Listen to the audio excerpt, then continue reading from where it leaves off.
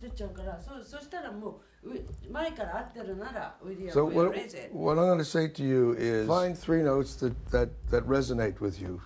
And then after you pick them, um, well, those are the notes you always pick. Yeah, And see how it opens you up.